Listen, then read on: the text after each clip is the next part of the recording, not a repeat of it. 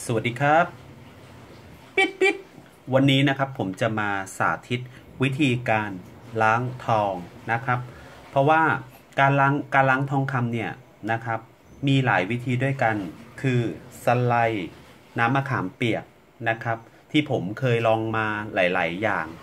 เช่น ยาสีฟันอะไรอย่างเงี้ยครับสามอย่าง เช่น ยาสีฟัน น้ำมะขามเปียก แล้วก็สไลด์นะครับ มันจะต้องใช้แปรงวิธีการที่ล้างทองโดยที่ไม่ต้องใช้แปรงคืออะไรไปดูครับแอนแอนแอนน้ำส้มสายชู ยี่ห้ออะไรก็ได้นะครับ ที่เป็นน้ำส้มสายชูนะครับ ถ้าไม่คิดว่าสิ้นเปลืองนะอะเทลงไปเลย เทพอประมาณนะครับ ไม่พอประมาณก็เยอะเหมือนกันนะครับ ต่อไปนะครับ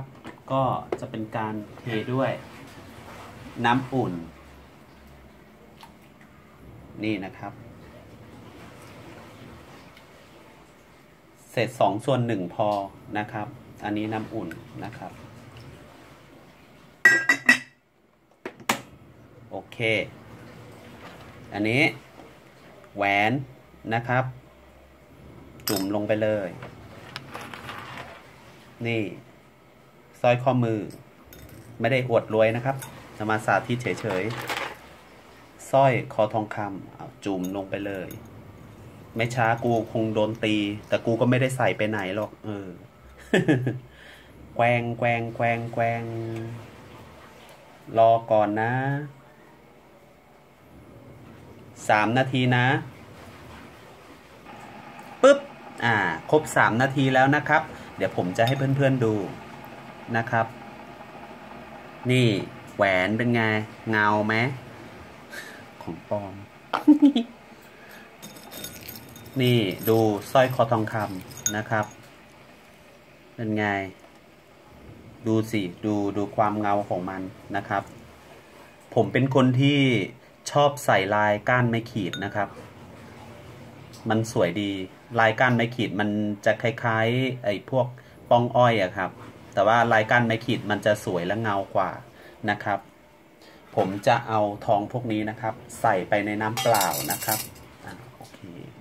อันนี้สร้อยข้อมือนะครับ ดูนะครับนี่โชว์ให้เพื่อนๆดูก่อน เห็นไหมผมไม่ได้ขัดเลยนะ นี่อันนี้แช่เฉยๆ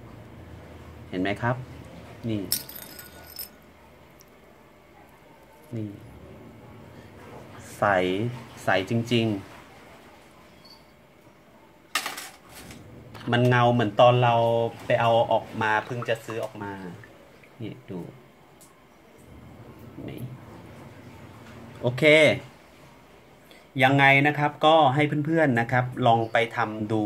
นะครับ เพราะว่าผม ก็ไม่รู้นะ ผมเห็นคนอื่นเขาใช้ยาสีฟันเอยแล้วก็น้ำมะขามเปียกแล้วก็สไลด์ใช้แปรงขัดขัดขัดแต่ของผมดูสินี่ ไม่ต้องขัดเลยเห็นไหมนี่พลิกให้ดูเลยนี่เงาแวบ ไปลองทำดูครับ บ๊ายบาย